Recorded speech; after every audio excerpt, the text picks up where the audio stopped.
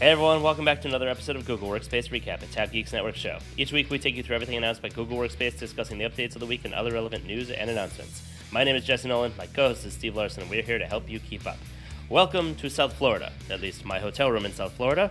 I'm on the road today visiting family, so for those of you watching, you get to see my hotel room. And to everyone listening, please excuse my audio. The room has a little bit of an echo. Hopefully, I can uh, fix that up in post. I was going to be attending SADA Impact this week, but unfortunately, I had to leave last minute, so I will be following along online, and uh, oh, I'm sure it'll be an awesome show, and I look forward to uh, catching Sure the next one. I'm sure it'll be impactful. I'm sure it will be Oh, impactful. such impact and cloudy. It'll be cloudy, cloudy, impactful. How's it going out there, Steve? You know, not too bad. My um, my thyme is not doing so well. It's got a little brown on the bottom and the base. You had a little too know. much time without water. I may may have. It might just need a little bit more time to grow. Uh, more time in the sunlight, perhaps. Yeah, exactly. Perhaps. Well, speaking of time, for the first time, well, no, not the first time because I was in Israel recording, but for the first time in a long time, I'm ahead of you in time zones, and it's actually almost midnight here. Oh, yeah. Only 11 o'clock for you. right. So, uh, yeah, Yeah. Pretty first time you've been recording later than I have been. yeah, yeah. I've done next day because, you know, far, far away, but um, yeah, it's weird. This is what the late night is like. Mm-hmm. It's all good. Well, that's right. Yeah, you were recording in the mornings, weren't you? Once. Yeah, when I was in Israel, I was ahead of you by Yeah. quite a ways. Yeah, that's right. So you did that. Yeah, I did the same thing when I Yeah. was different time zone. Okay.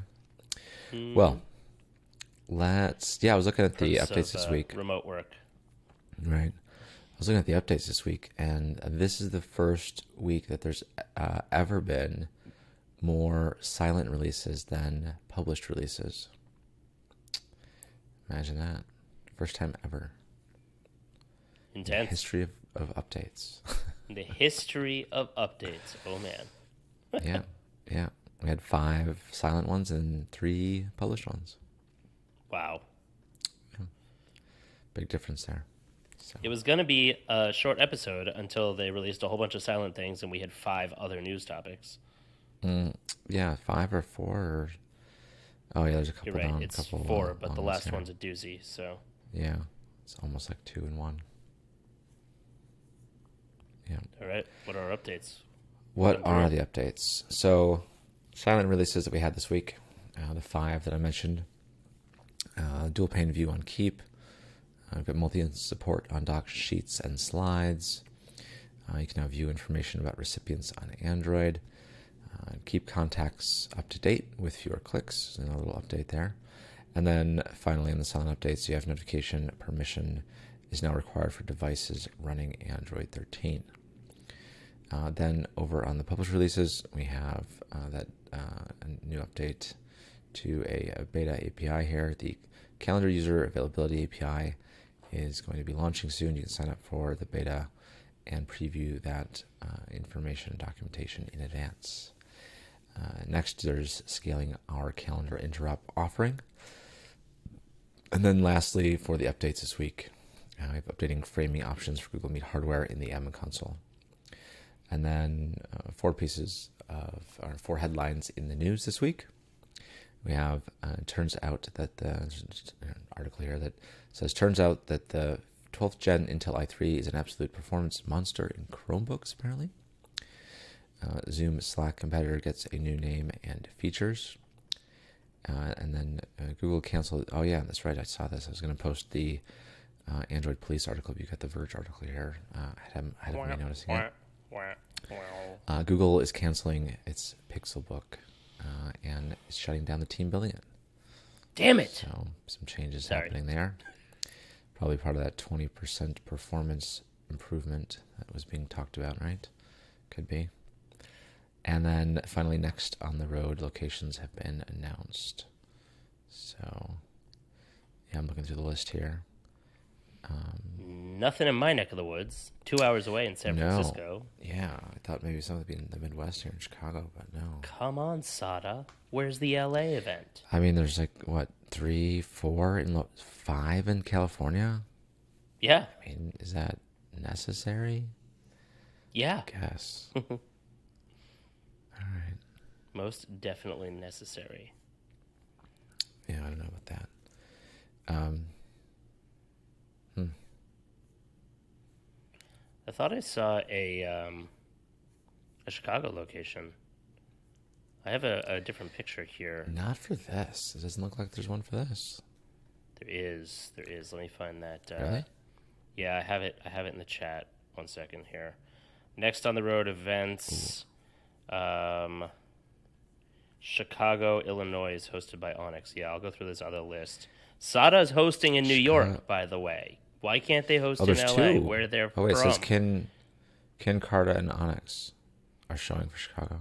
Oh, there's a second one. Yeah, that's right. Yeah. So uh, we'll we'll go through all of those locations and give you a heads up if you're in those any of those areas and you want to attend a uh, live stream watch party. They have some accompanying stuff along uh, with those events after the fact at each location. So we'll go into that after our updates. Oh, sorry. Itchy Take it away. Steve. I will. I will. Let's take it away here. So, uh, first on the list is that dual pane view on Keep. Uh, so we've, you know, you may recall, we talked about this a while back. Uh, there was some uh, talk about the, the dual pane functionality uh, previously, uh, but I think that was the oh that's the like the drag out from Keep um, feature from before. There's this is a new little feature, dual pane view on Keep, allowing you to browse Keep notes on the left on the side of the screen while editing content on the right side. And this rollout is uh, going to be starting the 8th of September uh, for uh, rolling out to both rapid release and scheduled release domains on a gradual rollout up to 15 days for visibility. I presume it's everyone because everyone has Keep. You've got the service. Uh, so really, yeah, these are really brief ones, by the way. So these are just very quick new updates in the recap post here at the end of the week. Uh, next, you have the multi-instance support on docs, sheets, and slides. So this is how you can get some better insight into your files by having the two windows open side by side. And this one is uh, or has started on the 7th of September uh, uh, on a gradual rollout up to 15 days for feature visibility for both rapid release and scheduled release domains. Uh, next, uh, some more information about your recipients on Android. So, this is something that I have always struggled to kind of um, see the email or get to copy it. So, hopefully, this is a little, maybe a little bit faster way to see what the person's email is or be able to copy it more quickly with less uh, selections and, and clicks. We'll see. Uh, but while you're using the Gmail app on Android, you can now view details about a person, such as their phone number or email address, by tapping their name or avatar when composing an email. And that was available to all users already when this uh, update came out last week. Uh, then you can now keep contacts up to date with fewer clicks. Well, ah, there you go. So fewer clicks are happening, maybe just not in where the uh, information about recipients is at, but over here on the contacts, you can now edit someone's contact information from their info card in apps like Gmail, Calendar, Voice, Docs, and Android on your device, which is great because I always found it very cumbersome that you have to, you know, if you clicked edit on a person's contact, it would have to open up over into a full new window and able to make those changes. And uh, this is going to be uh, definitely more seamless and less uh, cumbersome than it was before. So this one is started on the 7th of September, uh, rolling out to rapid release and scheduled release domains on an extended rollout, uh, which is potentially longer than 15 days for visibility there. And then last on our silent releases, we have the notification permissions. That notification permissions are now required for devices running Android 13. I recently updated my phone to 13, and I uh, I did, you know what? I actually did notice fewer notifications. This could be why. I was like, why am I not getting notified anymore about certain things? Uh, it's like oddly quieter in the notification realm. And it, yeah, so if you've upgraded to 13 and notice a lack of notifications coming through, this could be why. There could be some other apps perhaps that need authorization to send you those notifications. It could be just a way to uh, kind of tame the notification overload some people are getting. So they exp- explicitly uh, allow this. Uh, rollout for that one was uh, for wrap release and um, actually just didn't say that. I thought it was uh, saying something there. It is um, actually starting September 9th, undergraduate rollout up to 15 days for visibility, and that was rolling out to all Android devices there. And then now we get into the published releases. And this first one, we actually have uh, two of them, three of them. I mean, actually, all three are kind of related to calendar and events and things like that. That's uh, the focus of this week, it appears. Uh, first one is that the calendar user user availability API is going to be launching into beta soon, and there is a sign up uh, form where you can go and get access to the preview uh, and, and get access to and preview the documentation here in advance. So if you are interested in that, head on over, fill out the form uh, for the developer preview program, get access to that, and you can stay a step ahead of the new API. And I'm sure Jay and Ross are updating that already. It's automatically scaling to GAM's already automatically going to support this uh, as it comes out. Uh, so some details in this update here talking about you know why you use the working location. I think most of us are familiar with what that is and how it works, but you know with this update you're going to be able to programmatically make some adjustments for your end users and they won't just have to rely on themselves to do things and update things which you know who wants to rely on an end user to do something right yeah um, updates on this one uh, I think we had oh, there was some. Oh, is this in this update? There was some other things happening. Oh no, was the next update with it coincided with an OAuth update to grants. I'll talk about that in the next update. Just want to make sure I didn't miss anything here on this one. Uh, but with this, uh, there is some uh, segmentation in terms of what uh, product SKUs is going to be available on. So this will not be available for Workspace Essentials Business Starter, Enterprise Essentials Frontline, and G Suite Basic customers. So if you have one of those SKUs, uh, this change will not apply to those users that are licensed with any of those license types. And um, yeah, that uh, that wraps up that update. Uh, moving on to the next one in terms of scaling out our calendar interop offering. Uh, with calendar interop before, uh, you know, before this update, you had the ability to create one uh, service account essentially, and that one service account was always uh, handling the requests for all users in your org to query that information over an exchange. And of course, for large organizations, this was causing a bit of a concern for them because it would, you know, time out and it wouldn't update uh, in real time. It appeared. So with this update, you can now define multiple service accounts with that Exchange role account, and it will uh, Google will cycle through those and handle scaling to larger uh, subsets of users much better. So, uh, welcome a, a welcome uh, update, and uh, you know I think with all the calendar interop updates that have been happening, I, I mentioned the OAuth two uh, grant requirements that are also going to be happening. I need to do that, remember, before the 1st of October. Uh, I think, uh, you know, I'd probably do, uh, I'm thinking about workspace admins here for a second. The video that Brian did on Calendar Interop, probably do a bit of a refresh on that video and get a new one out there with all the new features that we're seeing with Calendar Interop. Yeah, I think it's a good idea to rehash a bunch of those videos, given that uh, we haven't done that in a while, and uh, quite a bit has changed.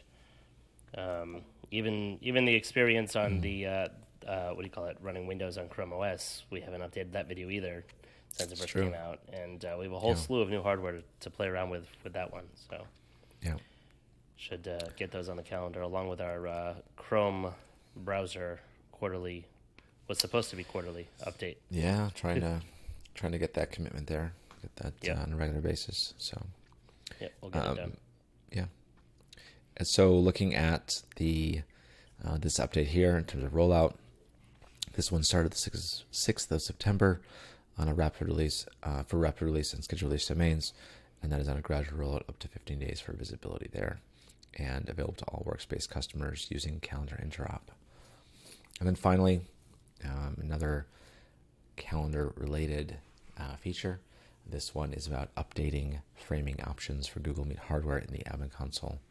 And again, this ties into a previous update that was announced uh, regarding frame, framing in Google Meet.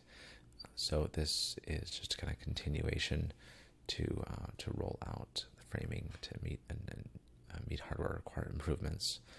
Uh, and the admin console, of course, will be updated to reflect this. So keep an eye out over there for some little changes. Uh, really, no action required for anyone on this, uh, as long as things are available and you have some capable hardware, for example.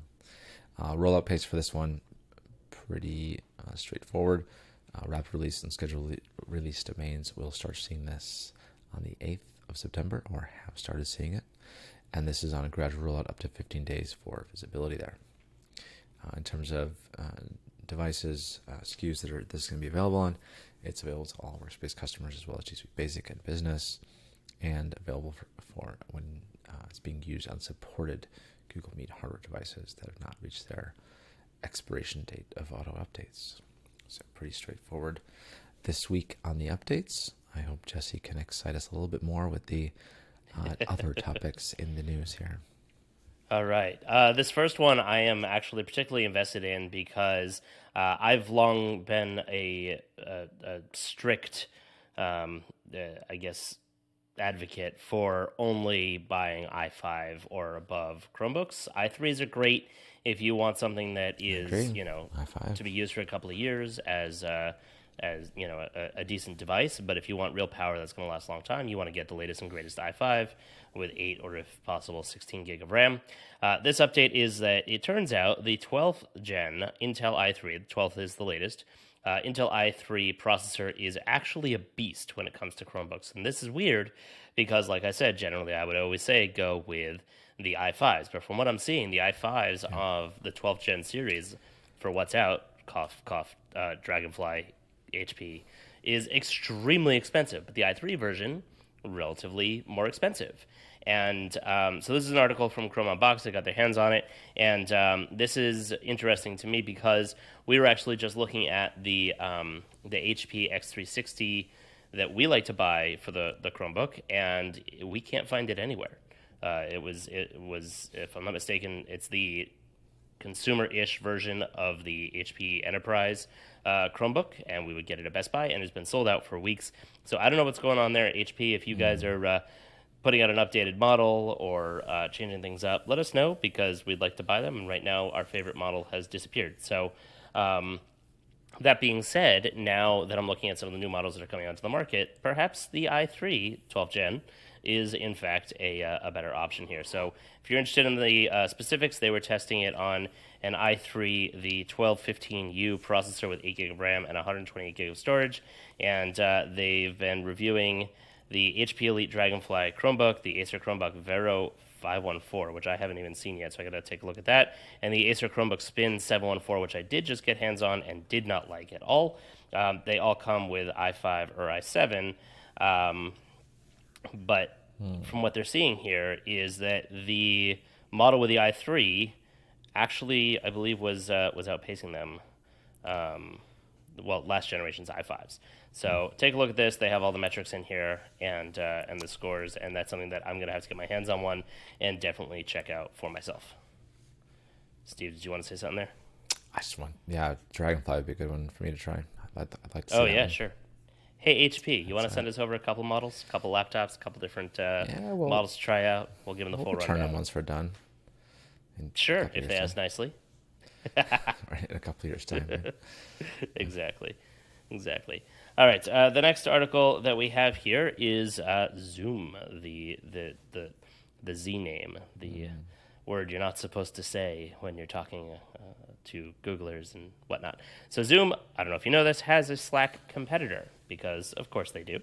And uh, they're giving it a new name. It was uh, Zoom Chat, and apparently that was confusing people with chat in Zoom, which you do whilst on a call. Zoom chat is just like Microsoft Teams or Slack or Google Spaces.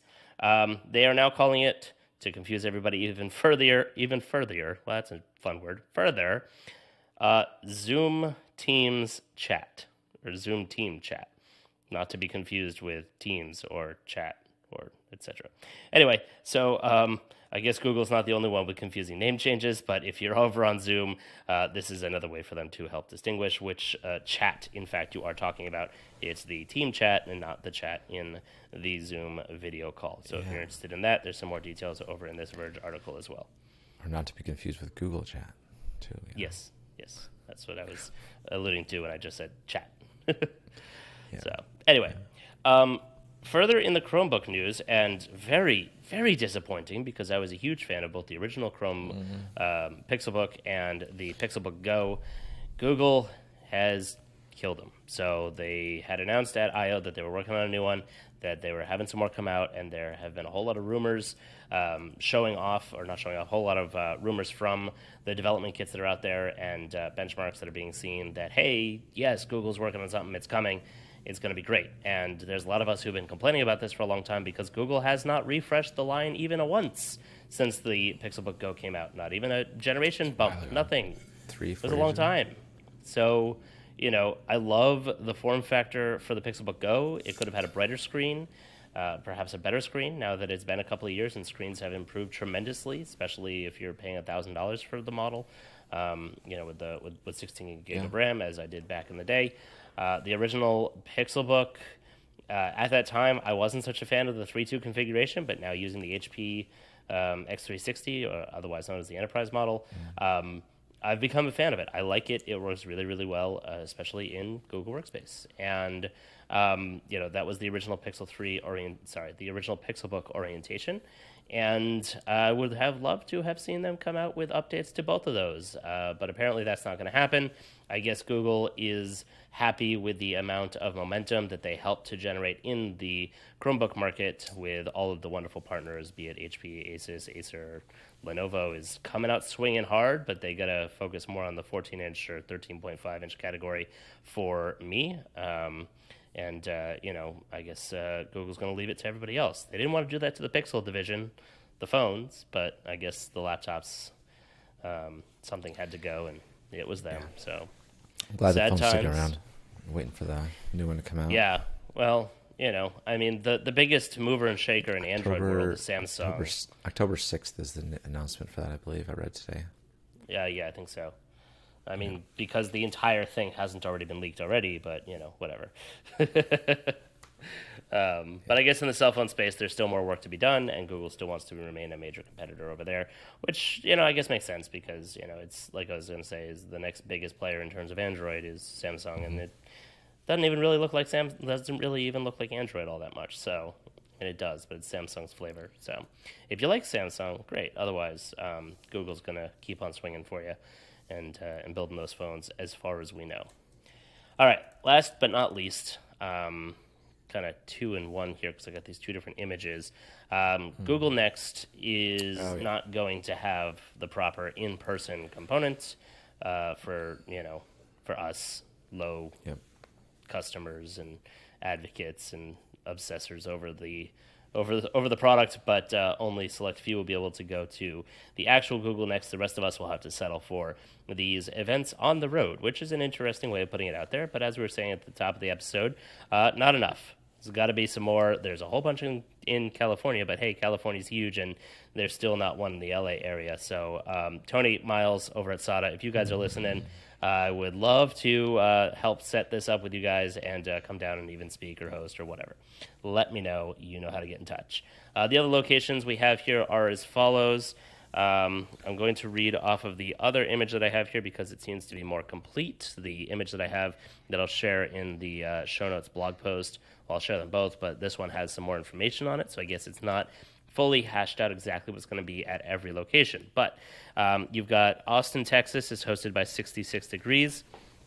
San Francisco is hosted by uh, Asana, but I believe I also saw on. Yeah, see, this is this is confusing. There are different different information on the image. as well as the information on the page. Okay, so San Francisco has both Asana and DoiT International, as well as Informica. Inf- sorry, Informatica is in San Francisco, as well as in Santa Clara, California is Pal- is hosted by Palo Alto Networks.